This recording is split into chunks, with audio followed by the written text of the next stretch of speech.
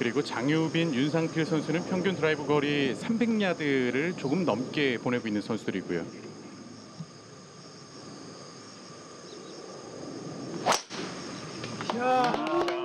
장유빈의 티샷.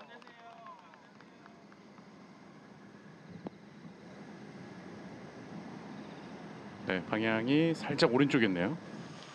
거리를 길게 보고 뒤쪽에 있는 경사를 이용한 아주 영리한 플레이였습니다.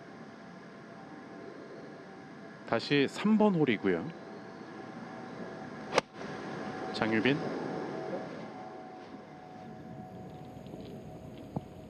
어, 오. 네 이번에 flyer가 나왔네요. first cut이었는데도 flyer가 나오면서 그린을 많이 넘어갔습니다.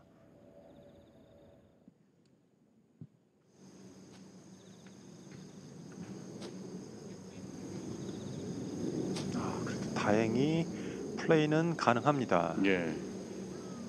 어, 조금만 더 네. 내려갔어도 정말 위험했어요.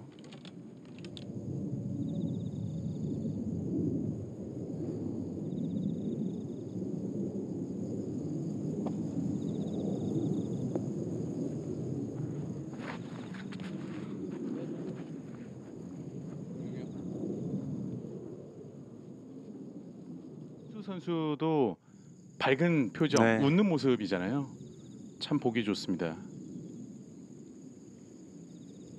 다시 3번 홀.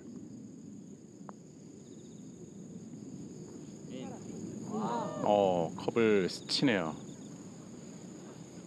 두 번의 버디 기회를 놓친 이후에 3번 홀 보기. 문제가 있었는데 사실 지난해 이 막판에 김비호 선수가 아시안 투어 상금 랭킹 1위 그리고 제네시스 대상 포인트 1위를 둘 다 노려볼 수 있는 그런 위치였습니다. 그래서 과연 어느 쪽을 더 집중을 해야 되는지 좀 고민을 하다가 결국 마지막에는 어, 코리안 투어를 선택을 했는데 아쉽게 양쪽 다 1위를 기록하지 못했죠. 그렇죠.